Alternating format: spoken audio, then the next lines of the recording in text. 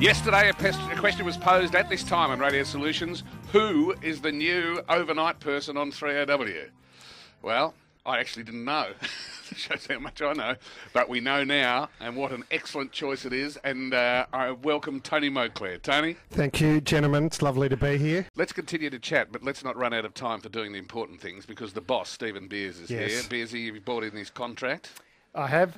I've done my bit. You've signed. Okay, now, Tony, you uh, you are going to sign, and I'm going to witness your signature. All right, here we go. You don't Now, want me to run my eye over the other pages of the deal, do you? I don't think that's necessary, Ross. you, might, you might find a few missing zeros. What's this about lighthouse keeping when not on air? Anyway, um, can I- we go. Okay, Tony is now here. signing. And the old lawyer in me says I better sign with the same pen as you. Right, uh, uh, Uh, yeah. That name, thank you. That name, yes, the correct name. Right, uh, there we go. And I'll print my name. Thank you.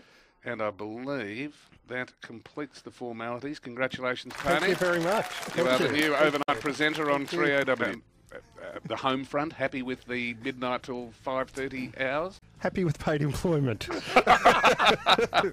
Congratulations, everyone. Tony Moclair.